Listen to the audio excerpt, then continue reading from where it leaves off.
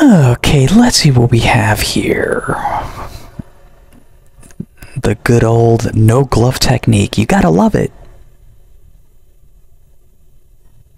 Look at the size of this foreign body. Hmm. You know, the problem is that there's there are important neurovascular structures in that area.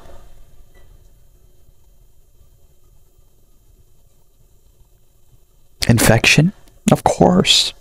Oh, there it is. It's a baby boy. I would definitely go to the emergency room now.